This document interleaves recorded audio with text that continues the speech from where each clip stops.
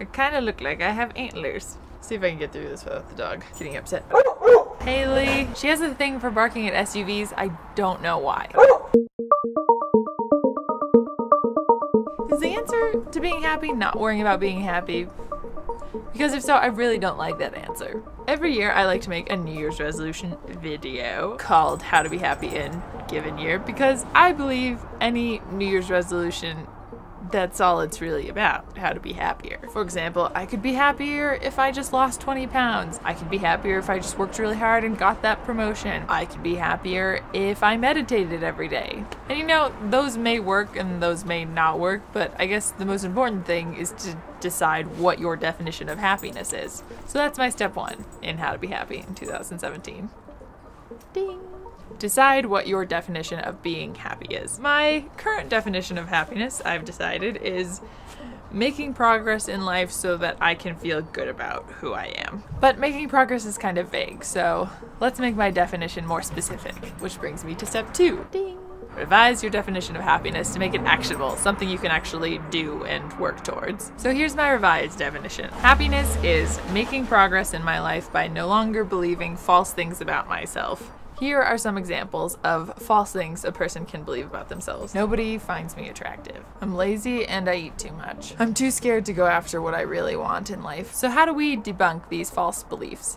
You have them because they feel true, meaning you've had experiences in your life that seem to back up these beliefs. And I can speak to how you get rid of some false beliefs because I've gotten rid of some false beliefs of my own. Here are some examples of ones I used to have and ones that used to really bother me. I'm heavier than I was in high school because I'm lazy. I only have short very short romantic relationships because there's something wrong with me. Or even, I will always be the undoing of my own happiness. And how I stop believing each of these things leads me to step three. Ding. Spend a lot of time with people who don't believe those things about you. It was really through surrounding myself with other people who had more positive beliefs about me that I was able to stop believing those things about me. Living with my best friend of several years, who had a much more positive body image about herself and also about me, is how I stopped believing I needed to go back to my high school weight. My current boyfriend of six months who doesn't believe there's something wrong with me is how I believed, oh, I can have a longer term relationship. And those shorter relationships weren't because there was something wrong with me. Now you might say, but I don't have someone in my life like that. I don't have people who believe positive things about me. To which I say, you can go find one. I bet some of you know what I'm gonna say.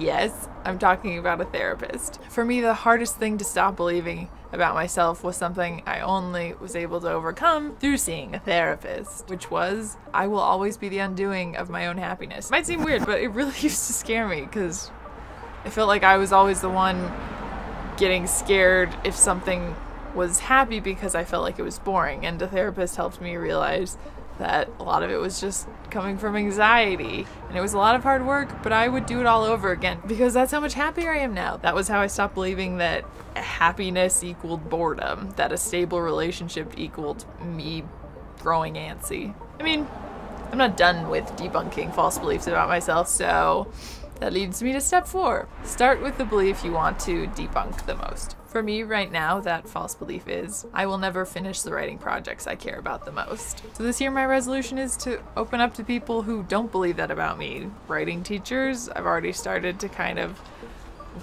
talk about this insecurity, and it's been very freeing. So I want to keep doing that, and I want to write through the pain of the insecurity I feel. I'm gonna learn to be patient through the writing. Anyway, so that's my New Year's resolution. That's how I plan to be happier in 2017 than I was in 2016. Feel free to share your New Year's resolution below. Feel free to share a false belief you think you have about yourself that you'd like to debunk, that you'd like to work on not believing anymore so you can move forward, so you can make progress. Thanks for watching, and I love you guys. Happy New Year. You gonna come outside, puppy? No? You don't want to sit next to me? You don't want to sit next to me.